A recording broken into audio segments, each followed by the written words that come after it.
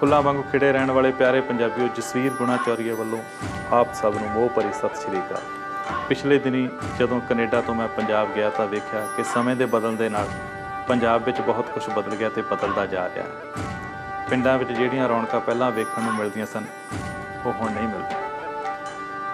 ਵਿਆਹਾਂ ਵਿੱਚ ਲੱਗਣ ਵਾਲੇ ਟੈਂਟਾਂ ਕਨਾਤਾਂ ਦੀ ਥਾਂ ਹੁਣ ਪੈਲਸਾਂ ਨੇ ਲੈ ਲਈ ਤੀਆਂ ਤਰਿੰਜਣਾਂ ਦੀ ਥਾਂ ਸਕੂਲਾਂ, ਕਾਲਜਾਂ ਦੀਆਂ ਸਟੇਜਾਂ ਅਤੇ ਥੀਏਟਰਾਂ ਨੇ ਮੰਨ ਲਈ ਗੱਲ ਕੀ, ਪਿੰਡਾਂ ਵਿੱਚ ਪਹਿਲਾਂ ਵਰਗਾ ਖੇੜਾ ਜਾਂ ਸਵਾਦ ਹੁਣ ਨਹੀਂ ਰਿਹਾ।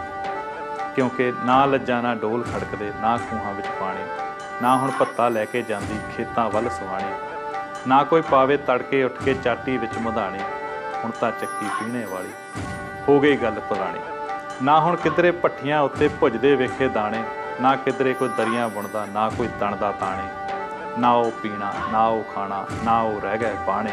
ਬਾਜ਼ੀਆਂ ਰਾਸਾਂ ਵੇਖਣ ਵਾਲੇ ਖਿੰਡ ਗਏ ਯਾਰ ਪੁਰਾਣੇ।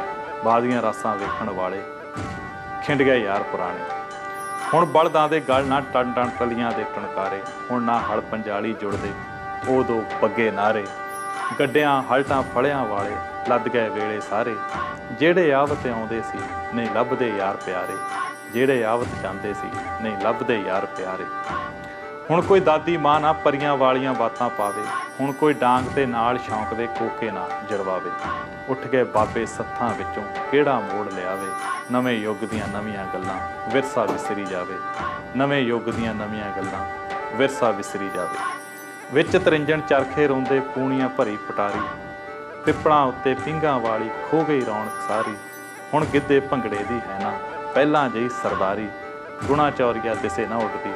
ਉਹ ਸੂਹੀ ਫਲਕਾਰੀ ਪਿੰਡ ਮੇਰੇ ਵਿੱਚ ਹੁਣ ਨਾ ਉੱਡਦੀ ਉਹ ਸੂਹੀ ਫਲਕਾਰੀ।